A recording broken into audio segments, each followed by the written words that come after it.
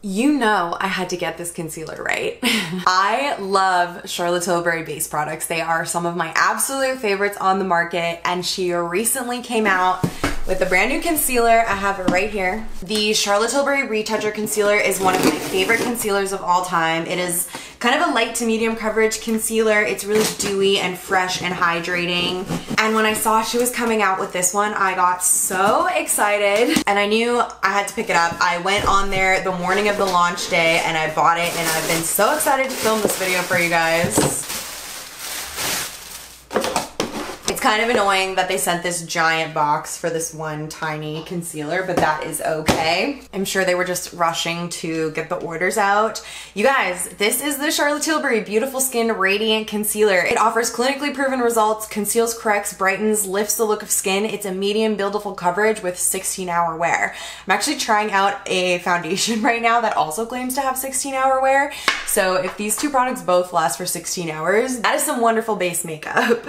So she's calling this shapewear for the eyes. Charlotte's marketing, you guys, is something else. I'm gonna read you some claims. What makes it magic? In one hour, skin feels two times more hydrated.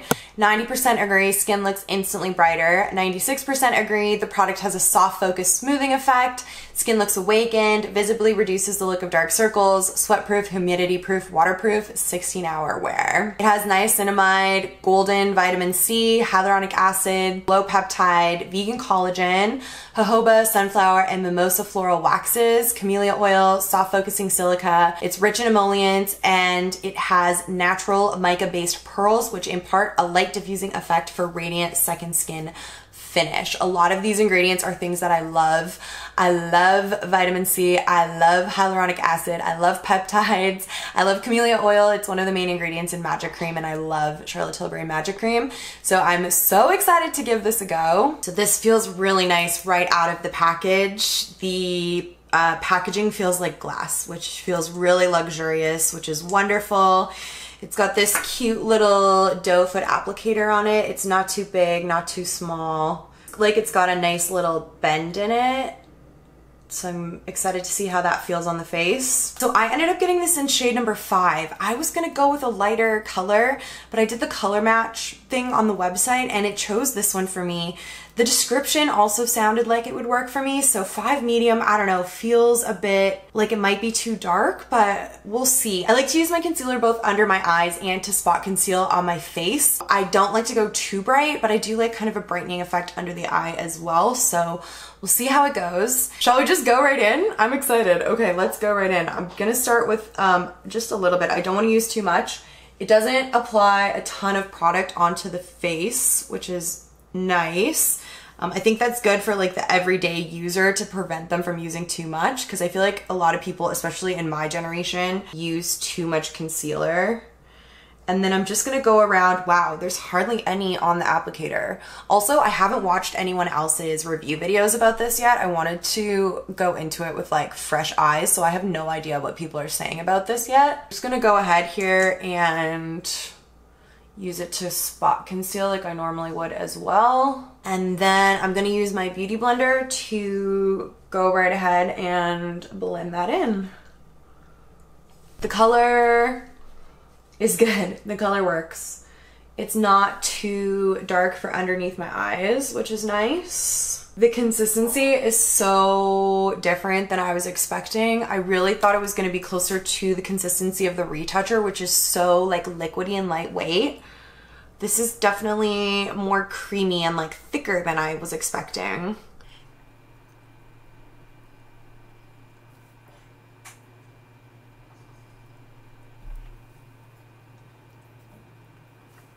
So blended in underneath my eyes quite easily.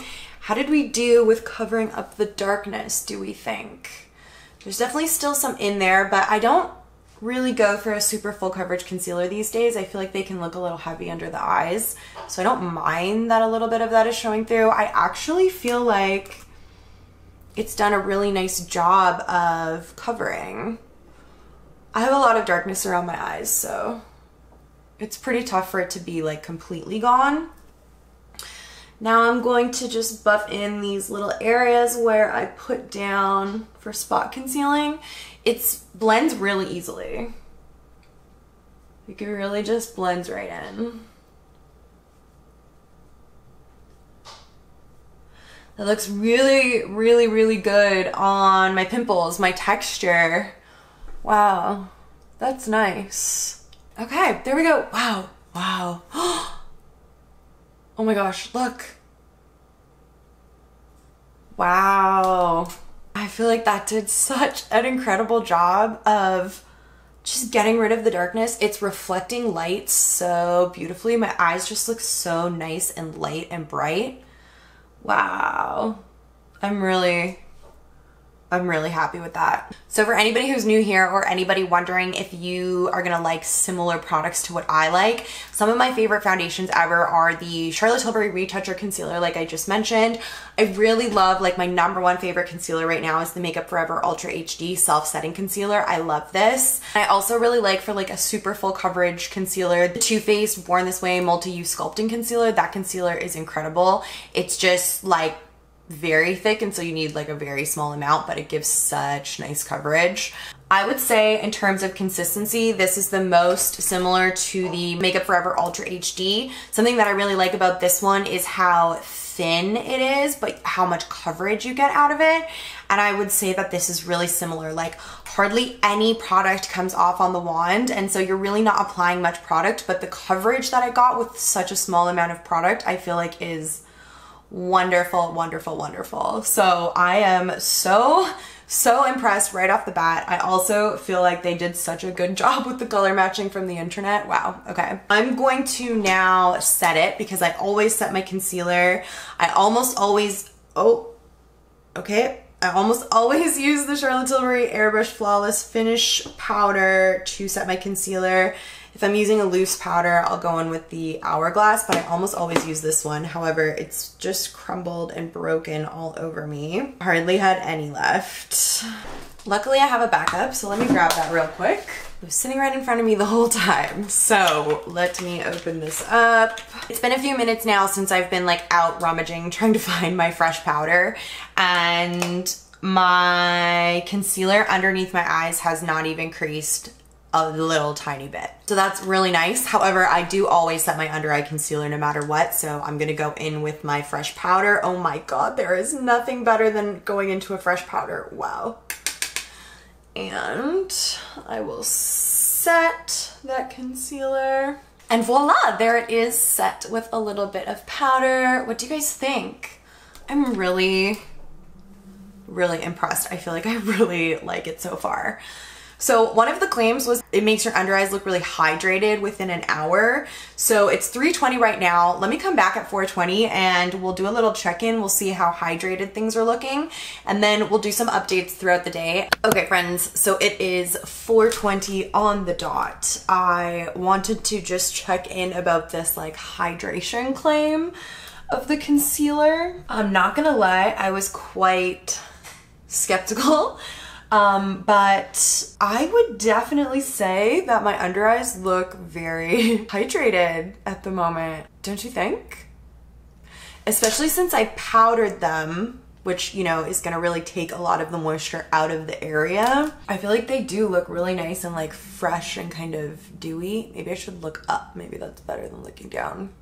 So yeah, I'm gonna go ahead and agree with that claim my under eyes do look more hydrated after one hour. So interesting. I love this like skincare infused makeup thing that Charlotte Tilbury has done.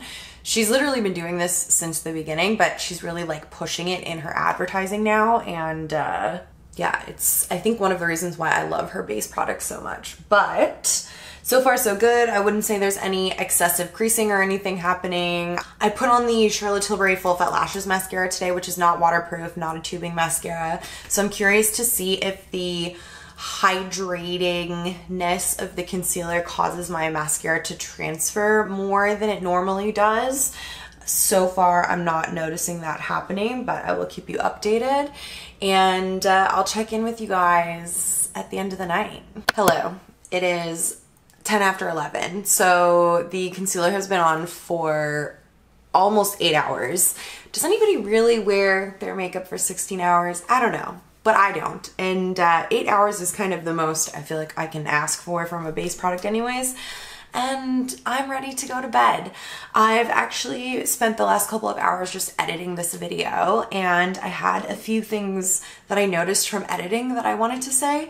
So the first thing that I wanted to say is that this is the beautiful skin radiant concealer from charlotte tilbury and so this is part of her beautiful skin line which started with her beautiful skin foundation so i have a full review on that foundation i'll link that in the description box for you guys if you want to check it out but Spoiler alert, I didn't really love it. And of her foundations, it was kind of bottom of the barrel for me.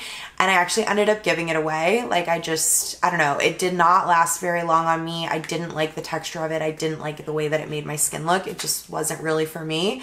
So I was kind of wondering and like curious about how this concealer would be from the same line if I would feel the same way about it. The other thing that I noticed while editing is that I feel like after I powdered my under eyes, they looked a lot darker than they did before I powdered them. And so I feel like part of the magic of this concealer is that it is really light reflecting and when you powder, it's going to take away the reflectiveness and so it's not going to cover as much. This is just a theory. But Charlotte actually came out with a brightening version of the Airbrush Flawless Finishing Powder. This is something that I've been waiting for for so long and I actually saw that that was coming out before I saw that the concealer was coming out and when I bought the concealer I didn't realize that she launched that brightening powder at the same time. So I'm actually really curious to try out this concealer with that powder. You guys know like I'm obsessed with the Flawless Finishing Powder. And I, I have like just been asking for a lighter one or a brightening version for years and years. So I'm definitely gonna pick that up and try it with this concealer as well. Make sure you're subscribed and you're watching my vlogs if you wanna see the update on that. But yeah, I did wanna just say that I feel like um, in person and before I put on the powder, my under eyes looked a lot brighter. Okay, um, I'm just repeating myself at this point. So the creasing under my eyes is so minimal, you guys. After eight hours of wear, I feel like it just looks still so fresh under there, like as if the concealer was just recently applied, more so on this side. On this side, I do have a little bit of my mascara smudging, which I was wondering if that would happen. Especially with all the humidity in the air, the rain that I was in today, I feel like it's pretty understandable that my mascara would smudge a little bit, but I'm sure that the skincare ingredients and like the dewiness of the concealer isn't helping with that.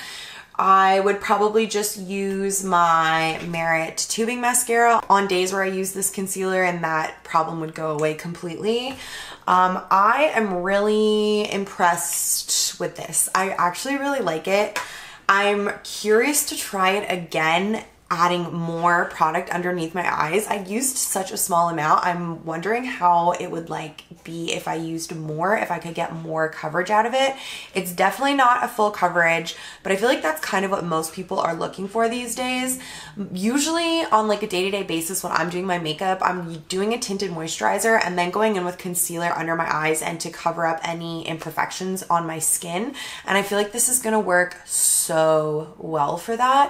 So I'm definitely gonna be trying that next. Again, make sure you're subscribed and watching the vlogs if you want to see me try it out like that. But overall, I'd say I'm really happy with it. I do recommend it. First impressions are always hard. It's hard to say for sure like where it falls in my list of like favorite concealers or least favorite concealers. Like it takes time to try out products to really like form a full opinion on it but just off first impressions I'm really happy with it and yeah I'm definitely going to be keeping it so thank you guys so much for watching this video. I hope you got something out of it. I thought it was so fun and I'm so excited to try out a new Charlotte Tilbury base product. You can subscribe to my channel if you want to see more videos from me and I will see you guys in my next one. Bye guys.